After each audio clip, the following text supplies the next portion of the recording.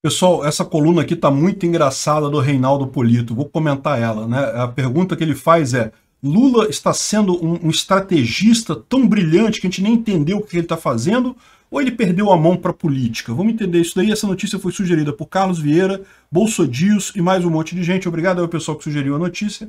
Obrigado a você que está assistindo nosso vídeo. Se você gosta do nosso conteúdo, por favor, deixe o seu like, se inscreva aqui no canal. Né? Pois bem, é, o que está acontecendo? Né? O, a gente está vendo aí nas últimas pesquisas que é, Bolsonaro está recuperando popularidade, Lula está diminuindo, a, a, distância entre os dois está diminuindo. É lógico, a gente sabe que essas pesquisas é totalmente mentira, não tem nada aí. O que está acontecendo, na verdade, são os institutos começando a convergir para o valor real, porque vai chegar um ponto lá na frente que eles vão ter que mostrar valores reais no final das contas. Ninguém está comprando essas pesquisas, ninguém está acreditando nessas pesquisas. Aliás, esse é todo o problema que eles têm, né? Ou seja, por que, que eles, é, é eles fizeram aqueles números altos justamente para tirar apoio de Bolsonaro, viram que não conseguiram tirar apoio de Bolsonaro, no final das contas estão é, tentando botar números mais razoáveis, para quê? Para fazer as pessoas acreditarem nas pesquisas e depois mostrar de novo números fantasiosos lá na frente para tentar convencer todo mundo a votar no Lula e coisa e tal, que Bolsonaro não tem chance. É aquela lorota de sempre que a gente sabe, não dá para confiar nesses institutos. Mas o fato é o seguinte: é, eles estão começando a ter que se confrontar com o fato de que aquela mentira deles é só isso, é uma mentira, não é algo real. De fato, o, o Lula não tem aquela popularidade toda, ele sabe que ele não tá, é, é, não vai ganhar com certeza essa eleição.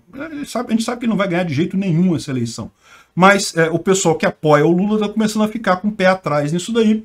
E aí começam a surgir alguns questionamentos. Né? Então, por exemplo, o Reinaldo Polito está questionando aqui justamente se a estratégia do Lula é genial ou ele perdeu a mão para a política. E eu vou adiantar para você, meu amigo. O Lula nunca teve visão política boa. Ele é um cara que sempre seguiu a esquerda. Enquanto a esquerda era a força dominante no país, não tinha problema nenhum. Ele podia falar as merdas dele, que as merdas dele colava. O problema todo é, o mundo mudou e Lula continuou o mesmo. E esse pessoal tá achando que esse cara vai ganhar a eleição. Não tem lógica nenhuma. Olha só.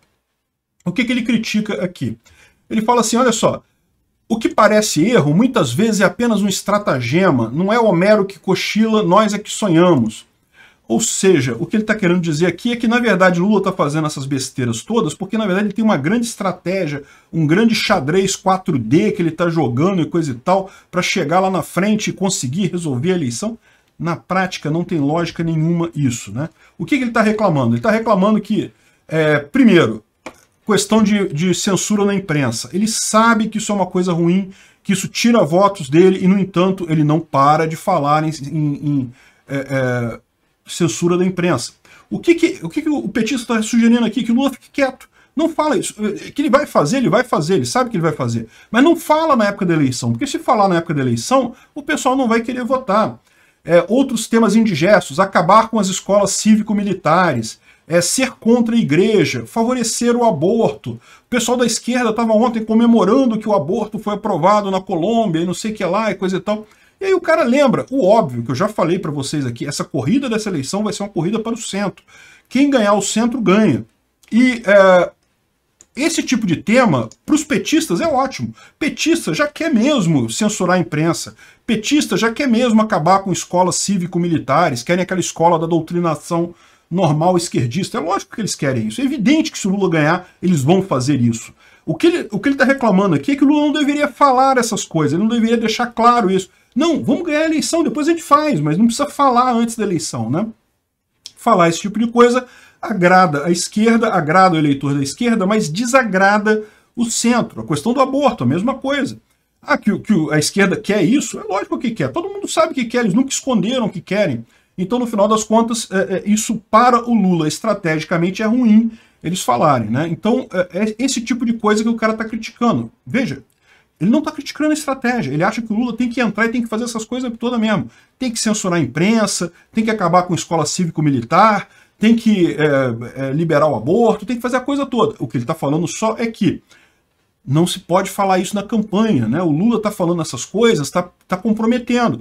Ajuda a consolidar a esquerda, mas perde o centro. Perde o pessoal que não é ideológico, que não quer essas coisas absurdas, né? E aí Ele fala que, na verdade, não, no final das contas, o que ele está fazendo é uma estratégia, porque a disputa ainda não começou, lá na frente é que ele vai lançar a estratégia dele, então isso é uma espécie de xadrez 4D e coisa e tal. Não, meu amigo, não é. No final das contas, o que acontece, o problema do, do Lula é exatamente esse. O Lula não mudou, o mundo mudou. O Lula continua o mesmo esquerdista, promovendo as mesmas pautas esquerdistas que ele promovia lá em 2002. Ele continua do mesmo jeito que ele era desde então. Ele nunca deixou de ser esse tipo de coisa. A questão toda é que naquela época o Lula tinha o apoio da grande mídia. A grande mídia ainda conseguia é, vender a ideia de que socialismo é uma coisa boa, conseguia manter a, a visão do mundo, né, da, da sociedade, como que ah, o socialismo é o padrão moral da sociedade. Então, isso ajudava o Lula, evidentemente. Hoje em dia, isso acabou.